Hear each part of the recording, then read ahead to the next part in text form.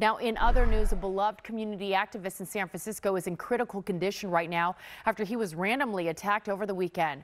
According to San Francisco police, 30-year-old Faheem Carter was attacked by a group of people in the Tenderloin on Saturday. Family members say he was just leaving City Hall after receiving an award for his work in the community.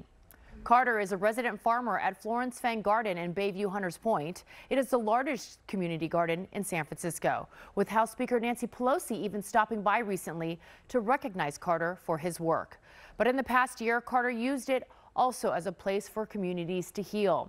His sisters tell us it became a mission of his to bring together various groups through the power of gardening in the face of increasing attacks on the AAPI community. There's been so many incidents of in San Francisco, unfortunately, of the tragic crimes against Asian Americans, and so my brother felt like it was a safe safe space for everyone, Asian Americans, African Americans, to just come together.